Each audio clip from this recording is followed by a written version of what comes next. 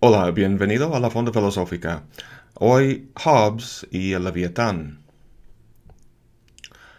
Thomas Hobbes es el primero y más curioso de los clásicos teóricos del contrato social.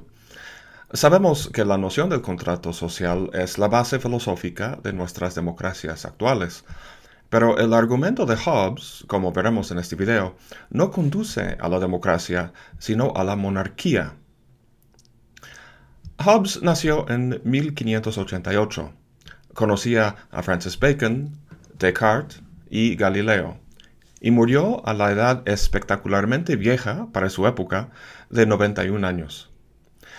De los libros que escribió vamos a analizar su célebre Leviatán, que salió publicado en 1651, tras una década de guerra civil. La guerra civil inglesa es el dato histórico fundamental para entender el Leviatán. La destrucción que infligió, infligió la sociedad inglesa motivó a Hobbes a buscar una forma de ordenar la sociedad que evitara los males que vio en la guerra. Como cualquier hombre educado de su época, conocía bien el pensamiento de los antiguos griegos y romanos.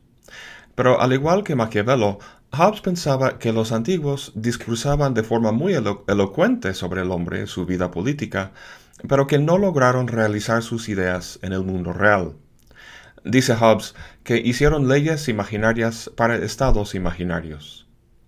A la mano con el espíritu de su tiempo, Hobbes volvería a la cuestión política y tratar de basarla sobre bases científicas.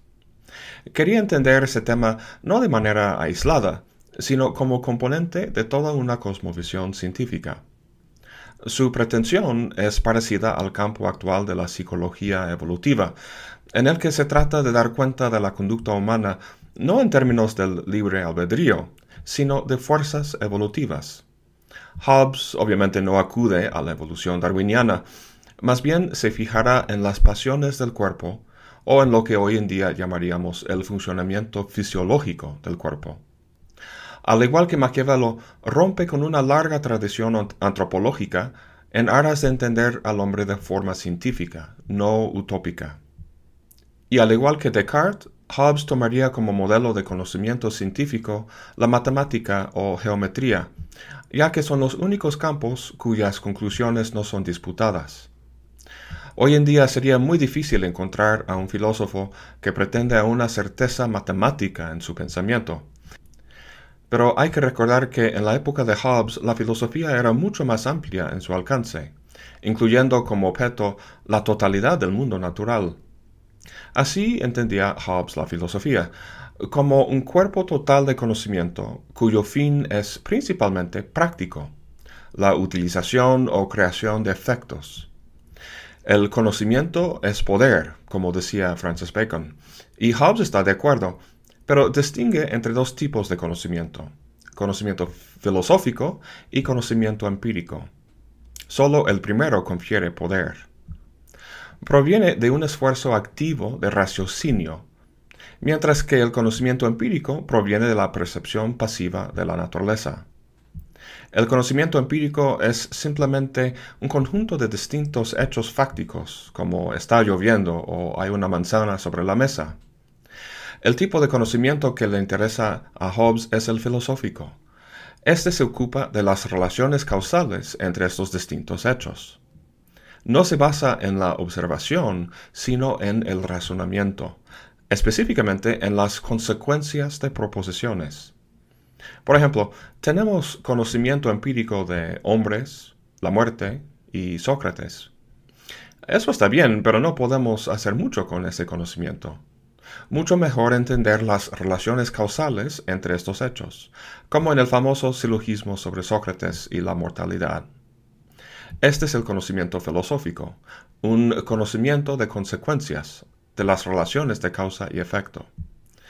Para Hobbes podemos investigar estas consecuencias o relaciones de dos formas, sintética o analítica. Cuando razonamos de forma sintética, razonamos a partir de una causa a sus posibles efectos. Por ejemplo, el fuego es una causa cuyos posibles efectos podemos deducir. El razonamiento analítico es al revés. Uno parte de un efecto y rastrea sus posibles causas, como en este caso de un incendio forestal. He hablado de todo este trasfondo metodológico porque, por un lado, es importante para entender su forma de argumentar y las conclusiones a las que llega, pero también para esclarecer una confusión que mucha gente tiene cuando llega al primer capítulo del Leviatán. No empieza hablando del estado de naturaleza y contratos, sino de la sensación y la imaginación. No llega a la política hasta el capítulo 13. ¿Por qué? Como comenté, Hobbes va a situar al hombre y su situación política dentro de una cosmovisión general del mundo. Siendo materialista, el mundo no es para Hobbes más que cuerpos en movimiento. El hombre percibe esos cuerpos y deriva, las consecuencias de su interacción. Para Hobbes hay dos tipos de cuerpo, natural y artificial, distinción que se nota en los títulos de tres libros suyos, de corpore, de homine y de sive. Los cuerpos y los hombres son cuerpos naturales, y el estado, de es artificial, algo creado por el hombre. Vemos esto perfectamente en las primeras líneas de la introducción del Leviatán. Dice Hobbes, la naturaleza, el arte con que Dios ha hecho y gobierna el mundo, está imitada de tal modo, como en otras muchas cosas, por el arte del hombre, que éste puede crear un animal artificial. ¿Qué dice aquí? Pues está comparando dos cosas, Dios y el hombre. ¿Con respecto a qué los compara? Dice que los dos crean algo, Dios el mundo y el hombre el Estado. ¿Cómo crea Dios el mundo? A través de la naturaleza. ¿Y cómo crea el hombre el Estado? Dice Hobbes que imita a la naturaleza, empleando su razón. Antes de pasar al texto y su argumento, quiero resumir un poco lo que hemos visto sobre su metodología científica. Hobbes es, por un lado, muy empirista, pero al mismo tiempo racionalista. Su racionalismo estriba en la naturaleza del conocimiento filosófico, el calcular las consecuencias de las proposiciones. La palabra calcular es muy apropiada aquí, ya que para Hobbes el razonamiento filosófico es una cuestión de computación casi matemática, la deducción de consecuencias a partir de un análisis de movimiento y cantidad. Pero los primeros principios o causas a partir de los cuales deducimos no son innatos al hombre, sino que llega a ellos a través de la experiencia y la inducción. Ese es su lado empirista. Bien, hace poco vimos el índice del libro y vimos que Hobbes no llega a hablar de la política hasta el capítulo 13.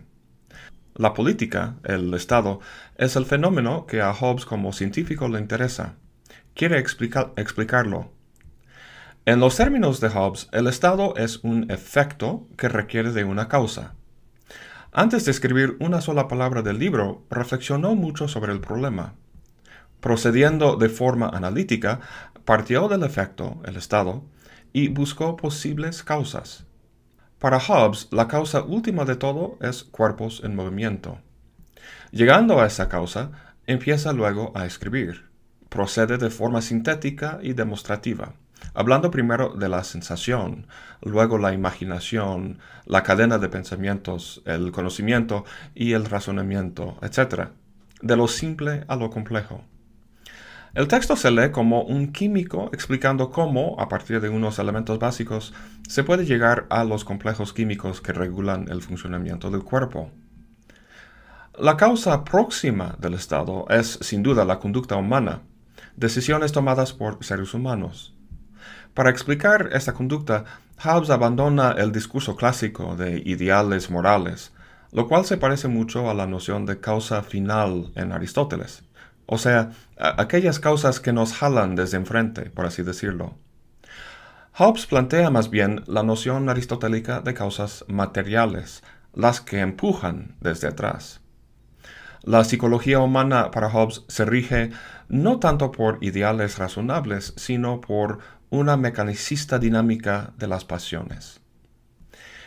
Bueno, ya tengo que terminar este video, pero al menos ya tenemos todo listo para pasar directamente al texto en el siguiente video. Muchas gracias por acompañarme, hasta la próxima y buen provecho.